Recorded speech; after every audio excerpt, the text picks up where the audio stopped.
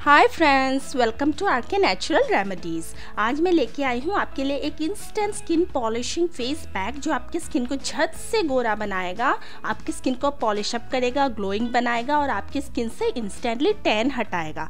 इसे बनाने के लिए मैंने यहाँ लिया है एक चम्मच गेहूँ का आटा वीट फ्लावर गेहूँ के आटे में मौजूद है अल्फ़ा आर्बुटिन जो आपके स्किन को वाइटन अप करने में हेल्प करता है। यह आपकी स्किन को लाइटन बनाता है और आपके स्किन से टैन आसानी से हटाता है। इसमें मैंने ऐड किया है दो चुटकी भर कस्तूरी हल्दी या वाइल्ड टर्मरिक यदि आपके पास नहीं है तो आप किचन वाला हल्दी एक चुटकी डाल दीजिए। हल्दी में एंटी फंगल और एंटी बैक्टीरियल प्रॉपर्टीज़ है, जो पिम्पल्स वगैरह को दूर रखने में हेल्प करता है। अब हम इसमें ऐड करेंगे हमारा थर्ड इंग्रेडिएंट जो है हनी मैंने यहाँ एक चम्मच हनी ऐड किया है। यदि आपके पास नहीं है घर में तो आप इसे स्किप भी कर सकते हो। लेकिन हनी हमारे स्किन के लिए बहुत बेनिफिशियल है तो हो सके तो इसे स्किप मत कीजिएगा। नेक्स्ट हम इसमें ऐड करेंगे दही और इसका एक पैक बना लेंगे। दही आपको उतना ऐड करना है जितना आपको पैक बनाने में ज़रूरत हो।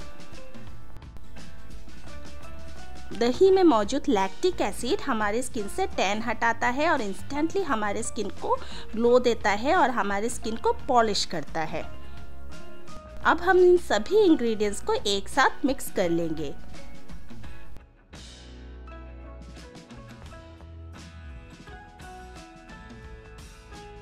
फ्रेंड्स यदि आप मेरे चैनल पे नए हो तो प्लीज़ इसे सब्सक्राइब करना मत भूलिएगा। वीडियो पूरा देखिएगा, क्योंकि लास्ट में मैं बताऊँगी इसे किस तरह यूज़ करना है।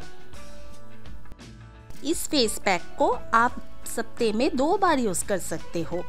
इसे यूज़ करने से पहले अपने फेस को अच्छी तरह क्लीन कर लीजिए। उसके बाद थोड़ा सा लेकर अपने फेस को अच्छी तरह मसाज कर लीजिए।